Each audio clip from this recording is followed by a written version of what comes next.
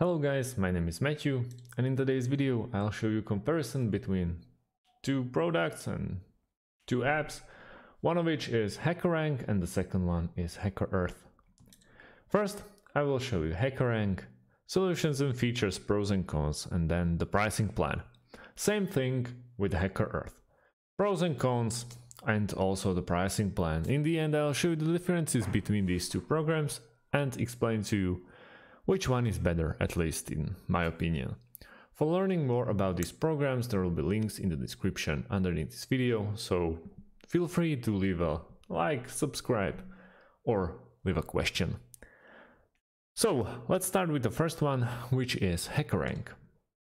HackerRank is a pre-employment testing solution designed to help businesses of all sizes plan, source, screen, interview, and hire qualified candidates using a centralized dashboard.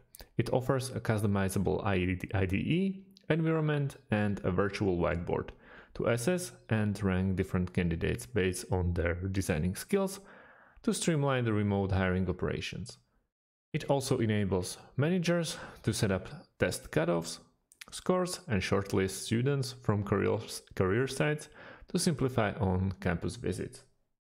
It's really really, really does what they are claiming. If we take a look on their site, you will see that they are basically really into building a team for you or hire uh, employees that you can really rely on. They have very complex way of doing that.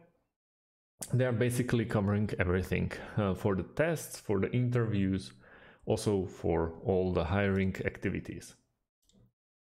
You can orchestrate a plan here, an efficient hiring process. There is a source, reach a qualified diverse ta uh, talent pool, screen, accelerate hiring and save valuable time, interview, conduct great technical interviews from anywhere and rank select the best candidate for the job. They really, really have nice background with nice reviews and from the biggest companies. Also, we can check the solutions here. Remote hiring, university recruiting, diversity hiring, professional hiring, and then there's a virtual career fair 2021. With the remote hiring, engage developers, an environment they love from anywhere, yada yada yada. As you can see, everything is set and done here. You can also get a free trial. With free uh, trial, for 14 days, you can build and send 30 technical assessments, host remote real-time, coding, interview sessions, review results, uh, download reports, and so on and so on. What I don't really like about this one is that uh, you can't really basically test your skills here. You can, obviously, for developers, sign up and code, but they're basically very similar to HackerEarth, or they prefer or doing the same as HackerEarth does. For example, uh, the other competition, for example, LeetCode or Codewars or CodeChef, they are basically focusing only at basically testing your personal skills, not to helping you get your team together. We can check the pricing plans now. And as you can see, we, it starts with the interview. It's $25 a month or 50 if uh, you're billed monthly, not annually. Then individual plan is a little bit more expensive, but uh, you have one full access user license, 360 candidates a year, access to tests and interviews, which is very nice. So this is, I would say, a minimum. Then there's a team option for almost $600 a month if you're billed annually, or 819 if it's monthly. Two full access users uh, licenses, three interviewers license, 720 candidates uh, a year. You have uh, access to test and interviews, premium content library, and optionally project, benchmarking, and code reviews. Then enterprise, pl enterprise platform for the biggest players, which basically you will tell them what you need from them to do and they will tell you the best option. that you can go with, which is very nice, I would say. And then obviously there's a there's a trial. As we spoke before with HackerEarth, it's something very very similar. You can be uh, for or you can basically focus on businesses. Uh, lets you engage uh, the top developers with hackathons and basically help you build a team, which is basically the same stuff as HackerRank does. You have solutions, no, no thank you. Resol uh, solutions for tech recruiters or hiring managers or university hiring, remote hiring, code compilation. I really like HackerRank uh, more because of this.